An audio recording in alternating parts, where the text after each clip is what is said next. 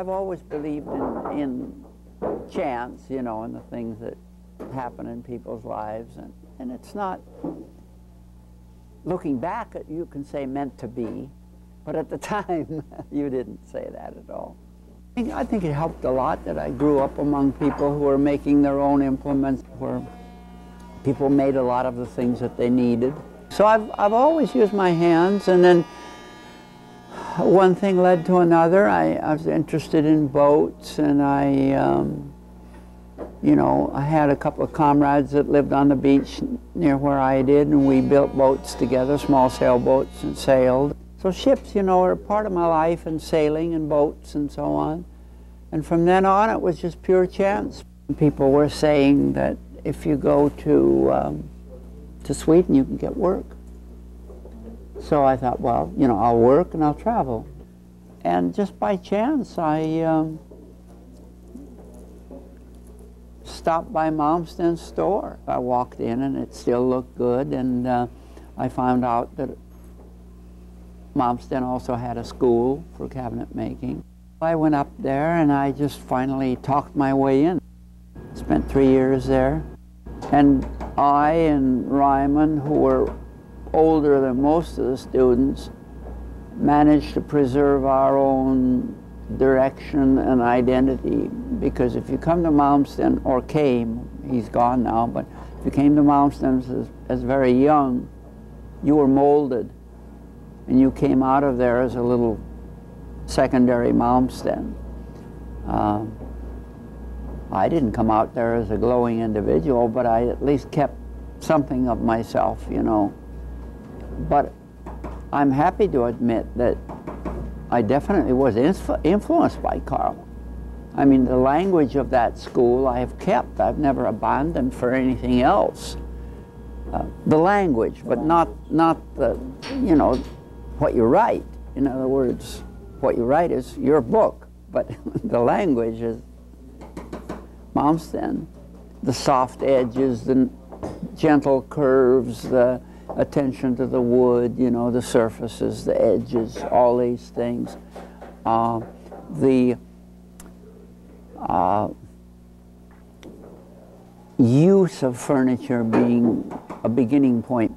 But he was also very aesthetically conscious. I mean, he had a fine eye for lines, and I got that from boats too. So, you know, his eye and my eye together. And, and it, it was a good, edu good education.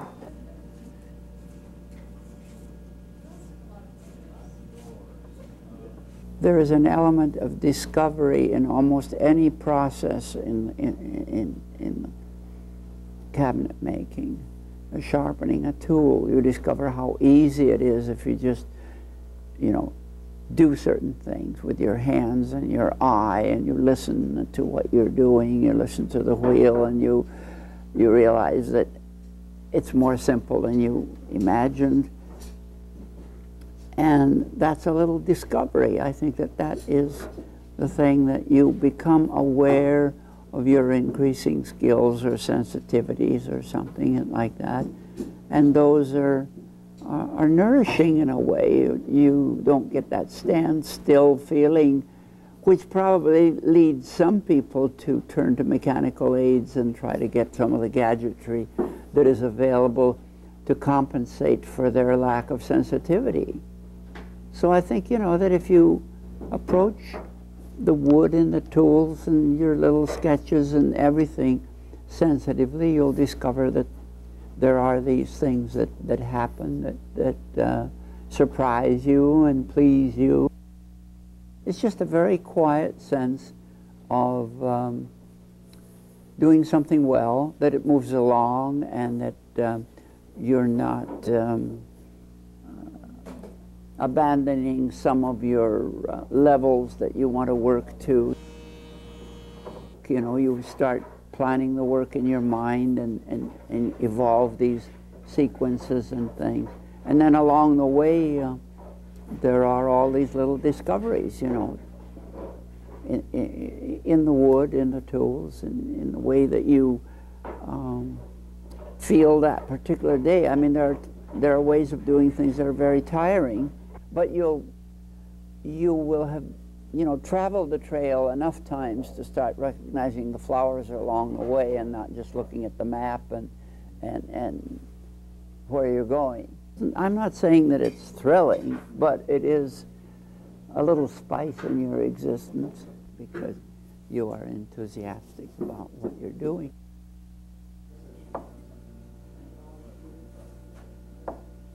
We learn gradually through the processes we learn to simplify, to rationalize, to, to make everything less work and not more work. We're pressured by ourselves, not by other people, but by ourselves. And the more you pressure yourself, uh, the more chances there are really that you will fumble and uh, stumble and, you know, things will happen. And, and, work won't come smoothly and naturally to you. So what you gradually learn is your strong sides and your weak sides. Um, how easily it comes to you to organize your work, uh, uh, how you feel about being interrupted. Um, but mostly, um, it just includes everything. You know, you can, you can discover a great deal about how to sharpen by just observing yourself doing it and noticing how your body and your eyes and your hands work. And, and suddenly you notice that it comes easily. And then you try to record that you know try to register that somehow that if i relax i'm going to be a lot better off than if i tense myself to hold this iron without without shifting it an iota you know. i'm I'm emulating a machine. But if you just relax and let your body work and the thing, it comes much more naturally. And then all you do then is with that, Long ago I discovered that if you're going to keep at it steadily, that it's good to work out your own rhythm in the sense that if you've done something very exacting and, methodical and intricate that the next thing you want to do maybe is very physical and simple, where you're just making shavings and, and simple fittings, you know, just that kind of thing. Because of the way I work, uh, I'm never sure how what I'm doing is going to turn out. And I think that's always been crucial, you know, very important, that element of how will it be. Everything has been improvised up to a certain point, you know, it just happens by chance. Just looking back and realizing uh, that although I didn't flip a coin, that, that, you know, a part of it was semi-accidental, that I didn't do it knowing that it would be better. I was hoping that it would be better.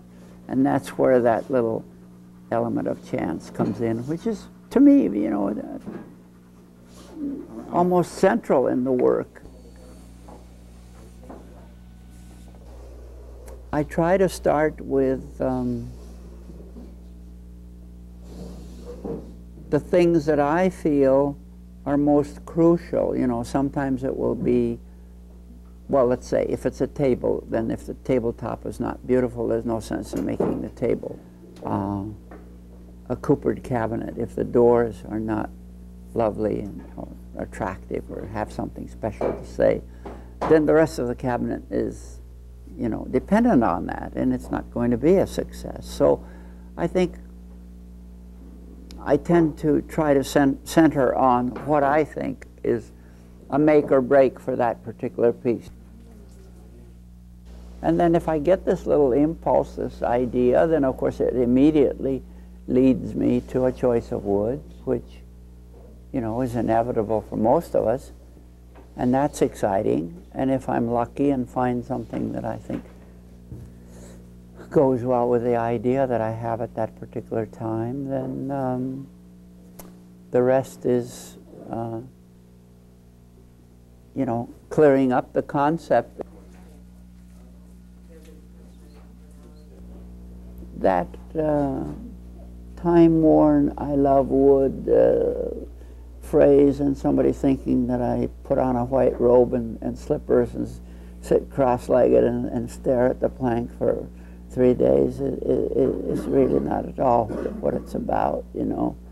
Um, somewhat excites me just as it does uh, anybody in this room. I mean, we walk up to something that's absolutely fabulous and it turns us on. I mean, it's, it's, it's just a real thing. I think the emotional excitement helps me, yeah. But it's not you know, a frenzy and it's not deep meditative process. It's just an awareness that many people share.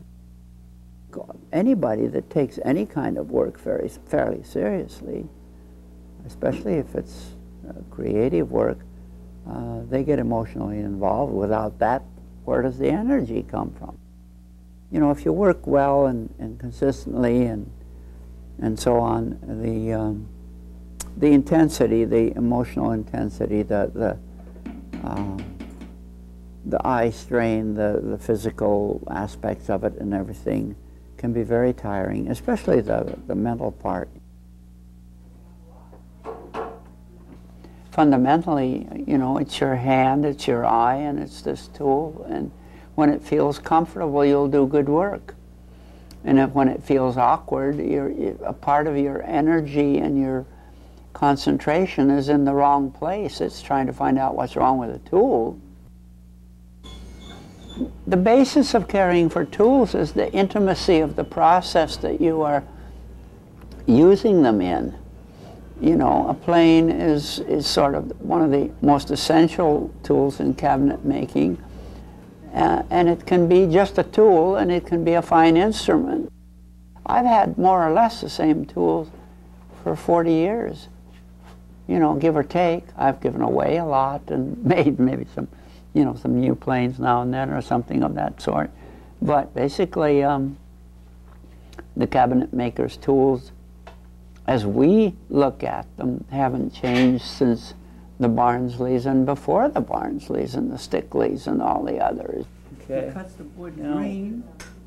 We use plane making as a way of finding out a little bit about wood from the beginning, you know, what happens when you saw up the parts and sometimes they warp a little bit or pull or something and we call attention to that. That brings us even closer to the nature of wood, you know, what it does and doesn't do and the difference between different woods. So I think it's, you know, it, it, it suits us. Uh, it's good for us, but we wouldn't perish without it. Although I don't, I, I, maybe that's an exaggeration because really we, we do wonderful things with surfaces and, and edges and uh, so on with fine cutting tools. We do. And um, it shows, you know of a crest rail of a chair with the grain beautifully following the shape of the crest rail, that that's not accidental. You don't do that with your eyes closed. You select a piece of wood and you know how you're going to cut it to get that particular rhythm. But that's just within the boundaries, you know, within um, things that come naturally to us, the shapes, the, the, the objects. You know, we have a common language, and within that, we have all these dialects and all these uh, different interpretations and things, but we don't uh, go overboard in the sense that we lose some of the essentials that make this thing work as it does, because we can't pretend to be all things to all people.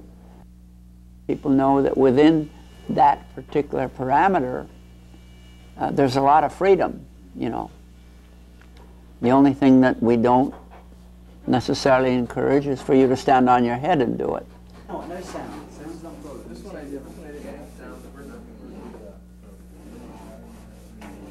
If, if we keep on like we are now, there, there is a danger that we will uh, gradually forget those satisfactions and think that the the accomplishment, the final product is where the satisfaction is, rather than in the doing, which should be as impersonal as possible. You know, I go the other way. The doing should be as personal as possible, as intimate as possible, and then let the part product be what it what it will. As long as there are people who don't take kindly to having their life consist of pushing buttons and watching blinking lights and counting other people's money, there will be always people drawn to craft, and maybe more so later on if we become even more technically, you know, advanced.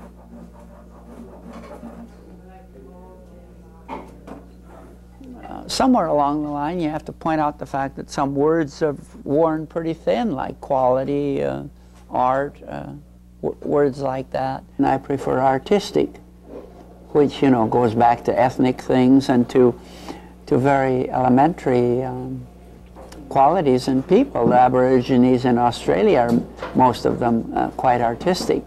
They'll make a boomerang that's a, that's a beautiful object, and yet it's functional. I find that, you know, artistic is a nice word. It's a very artistic object, or you, you are artistic. You have qualities of sensitivity, of line and shape and and, and so on, you know, texture and shades and all the rest of it. I prefer vanity to ego. vanity is much more natural and much less uh, demanding and assertive. You know, ego is assertive, self-assertion and, and trying to outdo somebody or something. Now we're coming to the person, the um, talent or lack of talent, the uh, intuitive sense of line and proportion that some people have and, and other people don't. I keep harping on harmony and, and trying to get people to look for balance, look for rhythm, uh, look for something that comes to rest by itself and yet that you don't neglect, you know, that, that attracts your attention because it's at rest. When I see somebody doing fascinating work, um, I'm curious. I, I'm apt to spend more time with him or her, at least periodically, you know, just because I am enjoying what they're doing. You know, one of the things that really bothered me is to see people graduate uh, from here or anywhere really and, and be lost somewhere and not be able to make ends meet and have to, you know, do unpleasant work and uh, the things that happen to people that they don't deserve, you know, that really bring them down rather than keep them going. I'm not particularly optimistic. I think that because of you know computerized image and computerized people and uh, all the rest of it. Uh, we are moving away from sensitivities rather than towards them, and that um, the way we do things, uh, the thoroughness, the attention, the detail, and everything will be more of a curiosity than a, than a proper thing to do.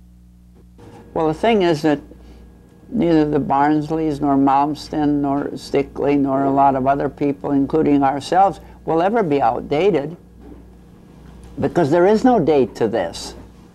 There is no date, so there's nothing to outdate. So maybe there will be a small scale backlash against all the junk and the cheesecake.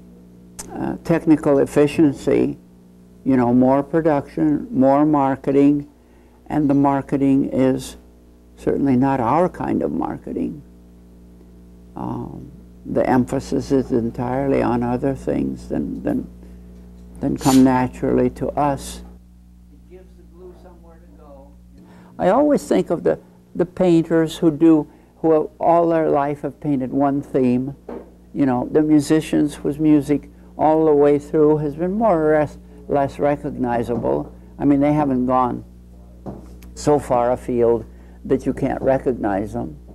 Uh, Mozart was Mozart throughout his life and so on. I mean, Brahms and Beethoven and so on. You walk into a room and something is playing and you, you may not recognize the piece, but you recognize the voice. So I stick to what I can do well, and that's my limitation. There are days when all of you can see that I'm not, you know, all sunshine and what it is that's bothering me. Sometimes I don't even know myself. Maybe I'm just, you know, physically and mentally tired and feeling my age. But um, I try not to let it rub off. But of course, in an environment like this, it probably does to an extent. You, you can get very intense towards the end, I think. Uh, just in, in, in the knowledge that your time and abilities are, are limited or will be limited soon.